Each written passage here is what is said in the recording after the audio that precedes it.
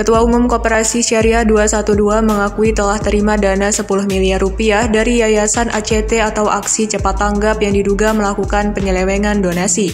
Kabak Penum Humas Polri Kombes Nurul Aziza mengatakan bahwa pihak Baras Krim Polri menemukan temuan baru terkait dugaan penyelewengan dana donasi Yayasan ACT.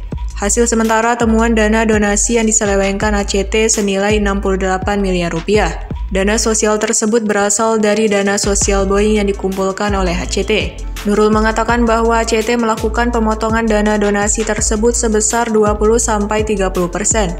Pemotongan dana donasi itu berlandaskan surat keputusan bersama yang ditandatangani oleh pembina dan pengawas Yayasan ACT. Selain itu juga pemotongan dana donasi berlandaskan surat-surat opini Dewan Syariah dan surat keputusan manajemen yang dibuat setiap tahun dan ditandatangani oleh keempat tersangka. Selain itu, Koperasi Syariah 212 mengakui adanya perjanjian kerjasama antara ACT dan Koperasi 212 sesuai perjanjian yang dibuat tahun 2021 lalu. Surat perjanjian tersebut berisikan pemberian dana pembinaan UMKM sebesar 10 miliar rupiah. Dana itu juga digunakan untuk kemitraan penggalangan dana, fundraising sosial, dan kemanusiaan.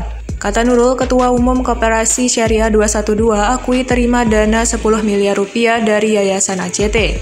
Ketua Umum Koperasi Syariah 212 akui terima dana 10 miliar rupiah dari Yayasan ACT, jelas Nurul.